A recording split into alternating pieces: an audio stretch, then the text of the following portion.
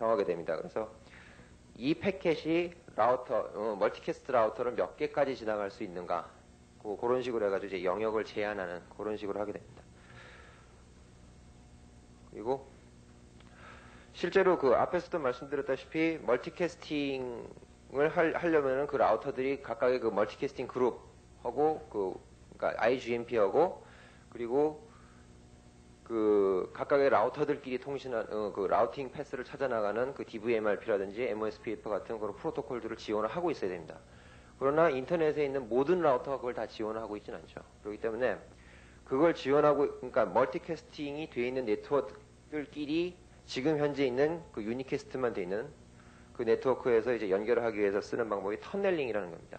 뭐냐면은 그냥 단순히 그 multicasting 그 패킷 위에다가 어디까지 보내라라고 하는 그 음, unicasting 패킷 하나 더, 더 덮어 씌우는 거죠. encapsulation이라고 하는데요. 더 덮어 씌워가지고 보내면은 그러니까 말 그대로 이 multicasting 네트워크하고 이 multicasting 네트워크하고 이제 그 라우터들끼리의 위치를 서로 알게 되면은 그 상대편 라우터 이게 원래는 이제 그 다음 라우터가 이쪽이죠. 화면에 보고 보이십니까? 예. 다음 라우터 얘의 neighbor 라우터는 이쪽인데 multicast에 한해서 neighbor 라우터를 얘로 보는 겁니다. 그러면 이 둘은 그냥 직접 연결된 것처럼 느껴지겠죠. 그런 식으로 해서 이제 multicasting 네트워크를 서로 연결할 수가 있습니다. 그렇게 해서 만든 게 사실은 지금 MBone이라는 것이죠. multicasting backbone이라는 거고. 그래서 실제로 이제 multicast를 이제 쓰려고 하면은 어떻게 해야 되냐, 그, 그 이제 앞서도 말씀, 말씀드렸다시피 호스트 자체도 사실 라우터가 아니라 호스트도 IGMP, 그러니까 내가 어떤 IP, IP 그룹 프로토콜, 에, 그, 어, 그룹에 속해 있다 안 속해 있다는 걸 이제 판단하게 한 것을 할 수 있어야 됩니다. 그래서 이제 Windows 95나 NT 정도 돼야 되고 Unix도 이제 Solaris 써노에서는 안 되고요. 써노에서는 이제 그 커널을 바꿔놔야 되죠. 솔라리스나 최근 버전의 리눅스라든지 그런 거나 아니면은 TCP/IP 스택 자체를 이제 바꿔줘야 됩니다. 그리고 라우터들은 IGMP나 DVMRP, MOSPF, CBT나 PIM 뭐 이런 것들을 지원을 해줘야 되는데 이제 M본에서 요구하는 거는 기본적으로 IGMP하고 DVMRP 두 가지를 요구를 하고 있죠. 아, 그 앞에서 거의 다 얘기를 해버렸는데요. 그러니까 multicast가 되는 네트워크 네트워크들끼리 이제 묶어가지고 만든 그 네트워크가 이제 MBone이 되겠습니다. 좀 빨리 좀 부탁드리겠습니다. 예. 죄송합니다. 그래서 MBone application들은 뭐 다음과 같은 것들이 있고요. 앞에서도 누구누구 얘기를 했으니까.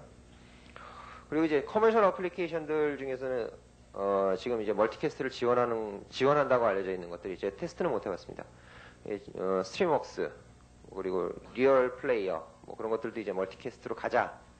가자 multicast를 지원을 하고 있지만은 지금 현재 우리나라에서는 전부 unicast를 지금 활용을 하고 있죠. 왜 그러냐면 서비스 자체를 지금 unicast로 하고 있으니까요. KBS라든지 MBC라든지 그리고 마이크로소프트의 NetMeeting하고 그리고 Netscape의 미디어 서버도 사실은 multicast를 지원하고 있습니다.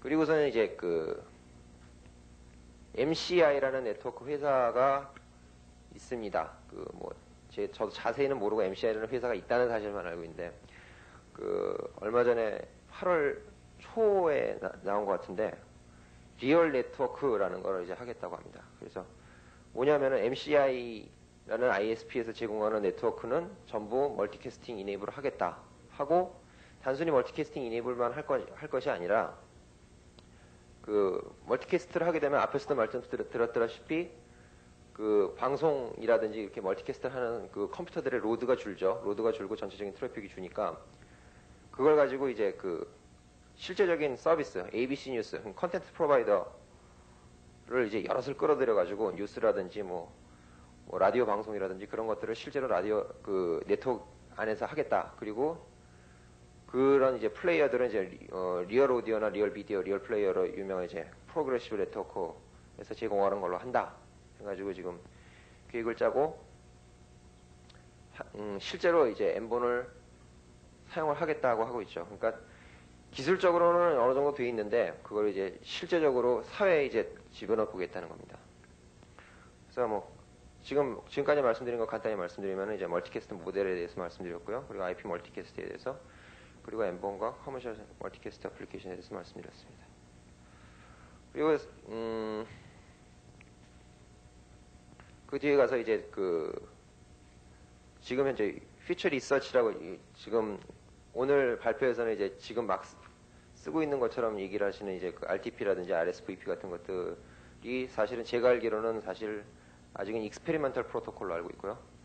그래서 쓰- 물론 쓸 수는 쓰고 시그- 어, 지금 commercial application에서도 물론 implementation 하고 있지만은 아직 연구 단계인 걸로 알고 있습니다.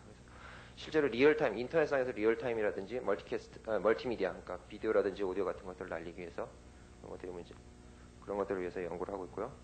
그리고 이제 reliable multicast transport라는 것이 있는데 그건 뭐냐면은 그 지금 현재 멀티캐스트는 한 소스에서 이제 여러 여러 탄테 뿌리게 되니까 걔네들이 각각이 다 잘 받았는지를 검사를 못 하고 있는 상황입니다.